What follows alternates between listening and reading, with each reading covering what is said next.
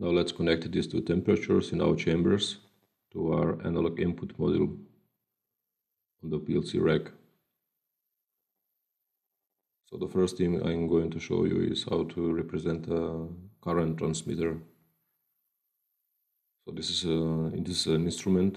So we are measuring a temperature. We have a PT100 element as an example and this instrument has uh, additionally a transmitter in head. So it converts, converts the resistance of the PT100 element to standard current signal of 4 to 20 milliamperes. And thus we're making a current loop between our instrument in the field and our PLC analog input.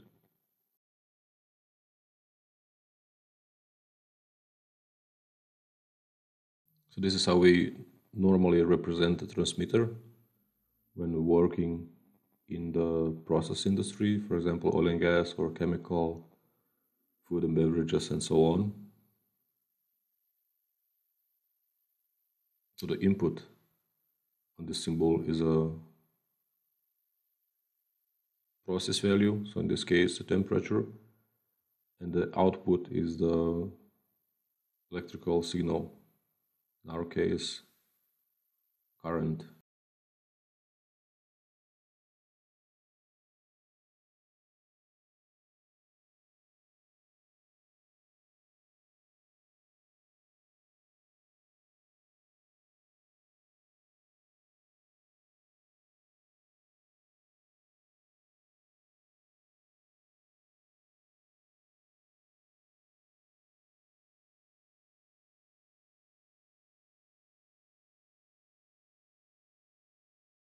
So this strange symbol representation of the letter E. That is how we represent an electrical signal when drawing converters, transmitters.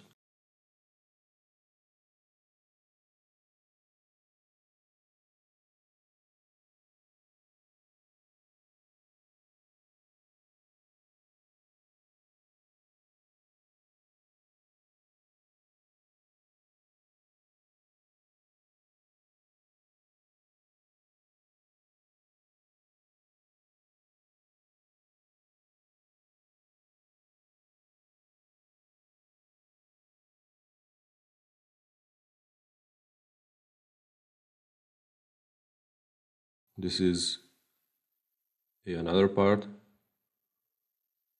from our symbol. It represents the PT100 thermal element, our measuring element.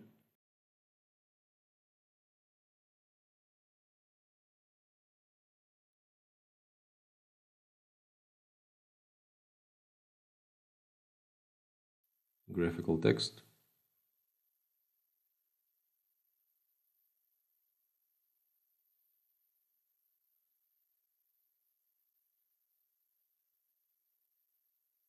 This is a so-called instrument loop. So in the oil and gas uh, industry, you normally draw loops in EPLAN horizontally. So on the left side of your plot frame, you will represent your instrument transmitter. Here on the far right side of your plot frame, your PLC input.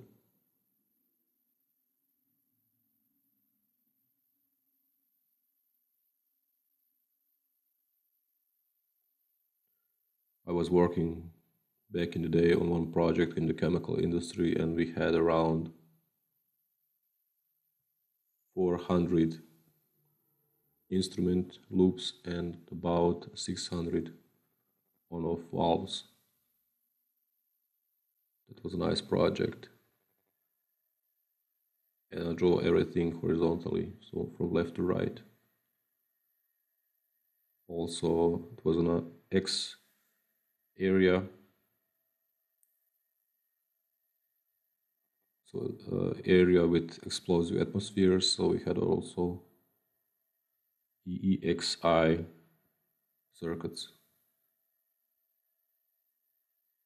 We had to also include some various galvanic isolators, in our case from Pepperl and Fuchs. Was a really interesting project and I definitely learned a lot. I was 25 at the time.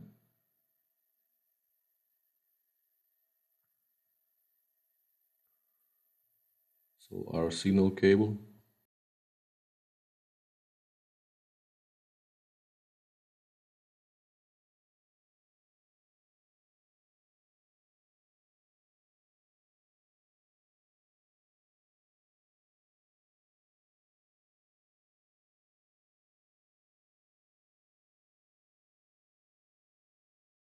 So let's insert our shield.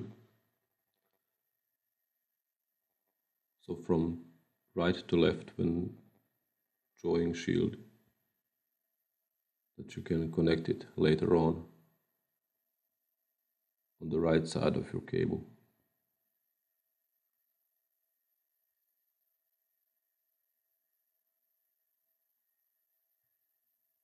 This is how you properly work with shields that you don't get any errors and warnings in EPLAN when checking your project.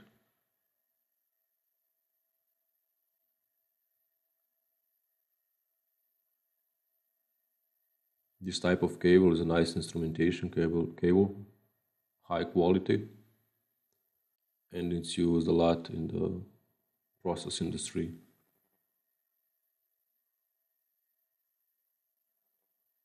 Now let's connect our shield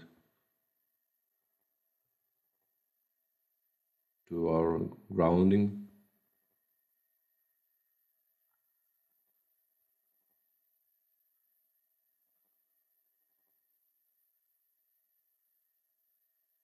As a rule of thumb, you connect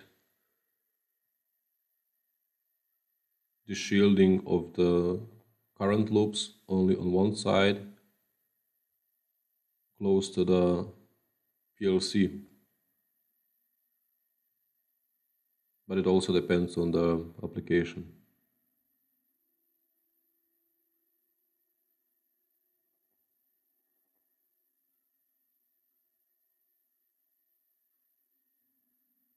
Our second temperature, so the first temperature in the chamber 1 and the second in the second chamber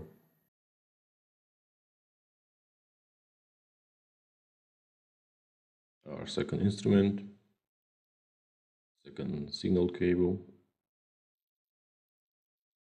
Let's update our connections to get the formatting also on the other shield.